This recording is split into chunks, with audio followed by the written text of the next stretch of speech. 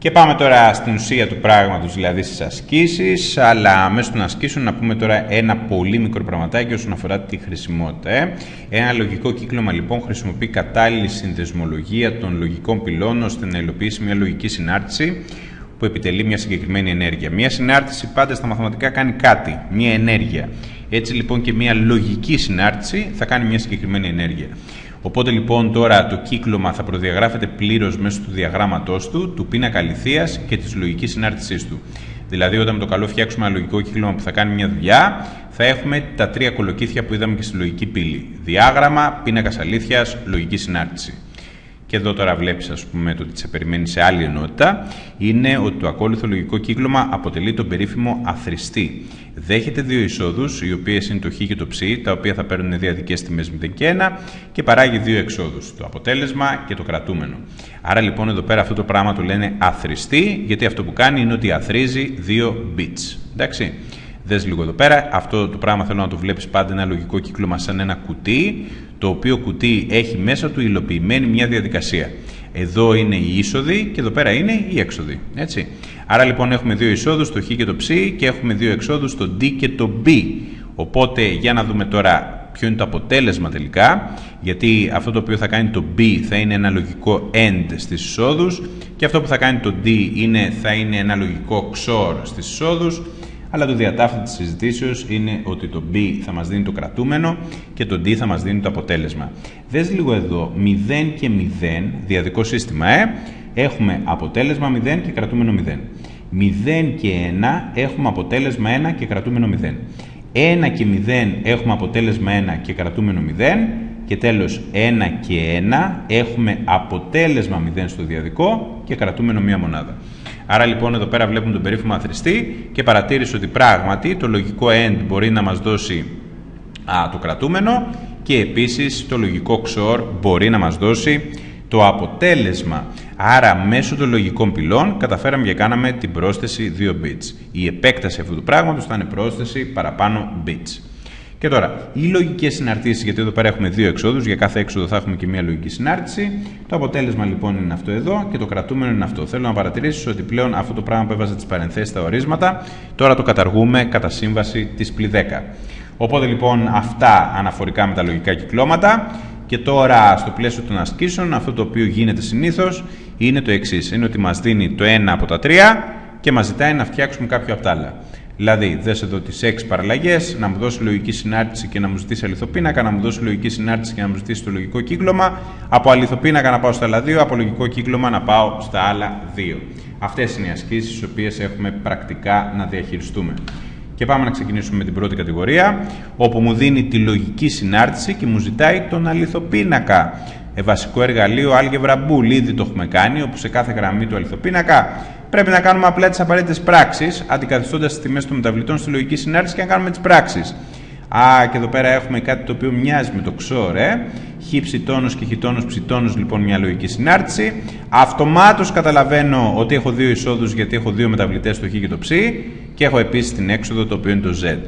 Η απάντηση την οποία δίνουμε είναι τον αληθοπίνακα, όπου τι κάνουμε τώρα, πηγαίνουμε και κάνουμε τις πράξεις. Τι σημαίνει τις πράξεις, 0-0, έχω ότι το αποτέλεσμα για το χ ψητόνος και χ τόνος ψητόνος, αν κάνω τις πράξεις, είναι όπου χ το 0 και όπου ψ το 0, γιατί αυτό έχουμε σε αυτήν εδώ τη γραμμή, και έχουμε 0 επί 0 τόνος, συν 0 τόνος επί 0 τόνος.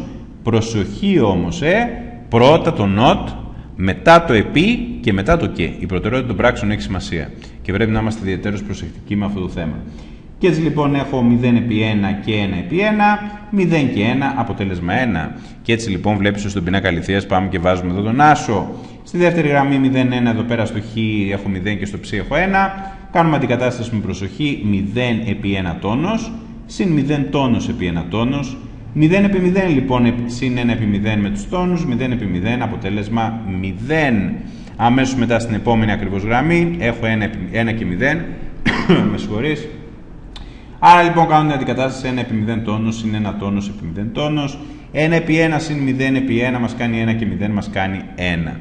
Και τέλος στην τελευταία γραμμή έχουμε 1 επί 1 τόνος συν 1 τόνος επί 1 τόνος, 1 επί 0 και 0 επί 0, 0 και 0 μας κάνει 0. Παρ' όλα αυτά όμως θα υπάρχει και μια διαδικασία η οποία θα μας βοηθάει ιδιαιτέρως και θα είναι να σπάμε τον πίνακα λιθίας σε βοηθητικές στήλες. Να τονίσω το γεγονός ότι τον πίνακα λιθίας του NOT, του OR, του END και του XOR θα πρέπει με αρκετή εξάσκηση να τα μάθεις απ' έξω. Τα άλλα τρία δεν χρειάζεται να τα μάθεις γιατί είναι το NOT, τον παραπάνω πυλών. Ναι; Οπότε λοιπόν προσοχή στο θέμα αυτό. Αυτό που κάνουμε λοιπόν είναι ότι κατασκευάζουμε βοηθητικές στήλες για ενδιάμεσα αποτελέσματα. Τι σημαίνει αυτό, ότι μπορώ να κάνω βοηθητικές στήλες για να κάνω μία-μία τις πράξεις. Δηλαδή, και με βάση την προτεραιότητα των πράξεων. Ναι. Δηλαδή, εδώ πέρα βλέπω στο Z ότι έχω να κάνω το end δύο πραγμάτων. Ναι. Το ένα πράγμα είναι αυτό εδώ, χ ψ, και το άλλο πράγμα είναι αυτό εδώ. Το οποίο με τη σειρά του είναι και πάλι ένα end δύο πραγμάτων του χ με το not ψ.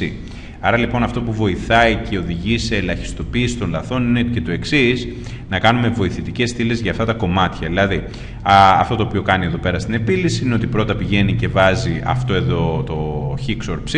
Παρατήρησε λίγο τον πίνακα λιθίας όμως, εννοείται ότι οι γραμμές είναι τέσσερις, αφού έχω δύο μεταβλητές, το χ και το ψ. Άρα πρώτα φτιάχνουμε το χ και το ψ και αμέσως μετά θα υπολογίσουμε το χ XOR ψ, το οποίο θα το ονομάσουμε μιας και έχει ονομασία να το πούμε K. Και το K λοιπόν είναι το ξόρο αυτών των δύο εισόδων, άρα και με τη βοήθεια του πινακακίου έχουμε το αποτέλεσμα. Αμέσως μετά θα πάμε στην δεξιά μεριά και αυτό το not ψ θα το ονομάσουμε L και παρατήρησε λίγο ότι το L είναι το not ψ, άρα λοιπόν παίρνει εδώ πέρα τη στήλη του ψ και του πατάει μια αντιστροφή, δηλαδή τα γράφει ανάποδα, το 0 έγινε 1, το 1 έγινε 0 κτλ. Και αμέσως μετά έχοντας τώρα το L στα χέρια του, το μη, το οποίο είναι όλο αυτό εδώ το δεξί κομμάτι, είναι στην πραγματικότητα το end του χ με το l. Άρα λοιπόν αρκεί να κοιτάζει πλέον την πρώτη στήλη, το οποίο είναι το χ, εκεί κοιτάει, και επίσης α, κοιτάζει το l, το οποίο είναι αυτή εδώ η στήλη.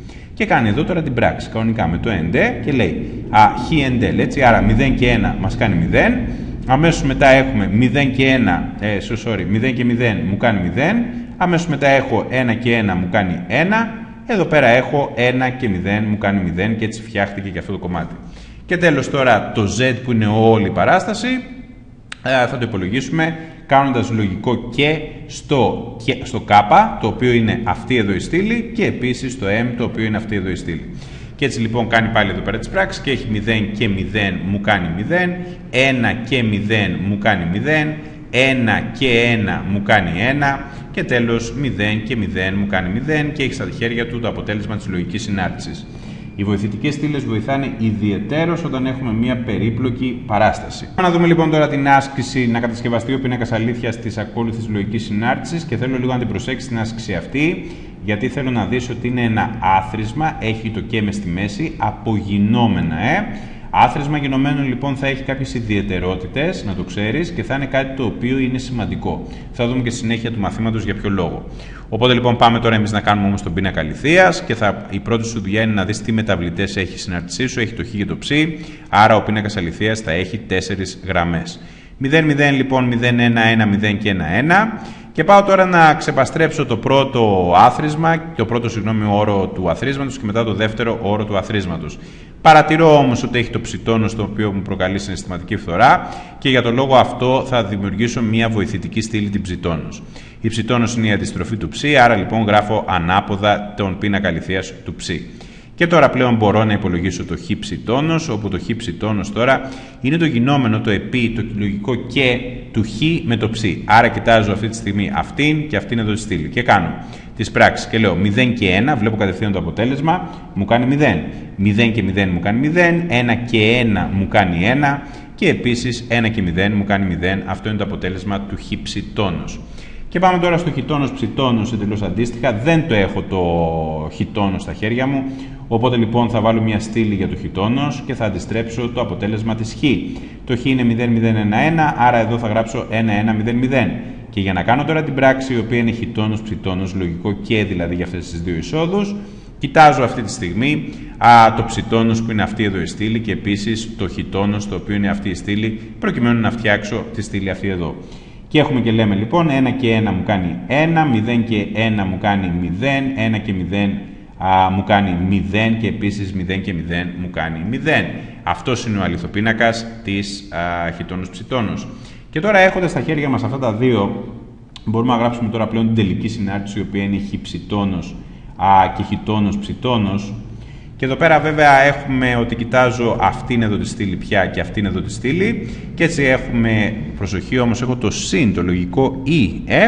Άρα λοιπόν εδώ έχουμε 0 ή 1, 1. Εδώ έχουμε 0 ή 0, 0. Εδώ έχουμε 1 ή 0, 1. Και εδώ πέρα τέλος έχουμε 0 ή 0, 0. Θα κάνουμε και άλλη μια αναφορά αμέσως μετά σε συναρτήσεις οι οποίες είναι αθρίσματα γινωμένων, γιατί εκεί πέρα θα μας ενδιαφέρει κάτι ιδιαίτερο. Ε. Όταν έχω ένα γινόμενο, εντάξει, δηλαδή ένα επί, έτσι, ABC τόνος ας πούμε σε μια άλλη λογική συνάρτηση, αυτό θα είναι ένα, και αυτό να το τονίσουμε, εντάξει, μόνο σε μια περίπτωση. Υποχρεωτικά πρέπει το α να είναι ένα, το β να είναι ένα και επίσης το σ θα πρέπει να είναι 0. Για ποιο λόγο, γιατί τους έχει τόνους ενώ τα άλλα είναι καθαρά. Την κρατάς αυτή την παρατήρηση, γιατί με βάση αυτήν εδώ θα μπορούσα να κάνω το εξής. Το χύψη τόνος το οποίο βλέπεις εδώ σε αυτό το κομματάκι, πότε θα αληθεύει; Κατευθείαν. Το χ πρέπει να είναι 1 και το ψ πρέπει να είναι 0. Άρα μόνο σε αυτήν εδώ τη γραμμή θα αληθεύει. Στις υπόλοιπες θα είναι 0. Εντελώς αντίστοιχα εδώ το χ τόνος ψ τόνος πότε θα αληθεύει; Αν το χ είναι 0 και το ψ είναι 0. Παρατήρησε το. Πράγματι, μόνο εκεί μας βγήκε άσος και στα υπόλοιπα μας βγήκε 0. Και έτσι λοιπόν θα μπορούσα να κάνω ακόμα πιο γρήγορα τον πίνακα αληθείας όπως θα το κάνουμε ε, στις ασκήσεις που θα δούμε στα τεστ τα οποία θα ακολουθήσουν.